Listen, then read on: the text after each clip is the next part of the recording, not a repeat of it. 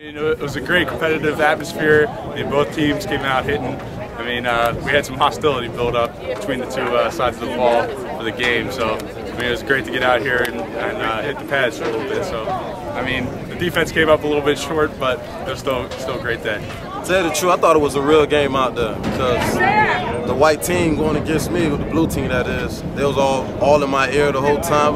It was, a fun thing to experience out there, a game before the pre, um, before the real season. So we were just having fun today. I mean, that's one thing we're working on as an offense is working on our tempo and just trying to get to the ball faster, catch defenses off guard. But uh, I mean, we had to play against good defense all spring. Our defense is really making strides. Our offense is making strides as well. So try to continue to get better. This was the culmination, you know, spring game. You know, we try and publicize it as best we can, and, and we had a great environment here today. The music was rocking, the crowd was great.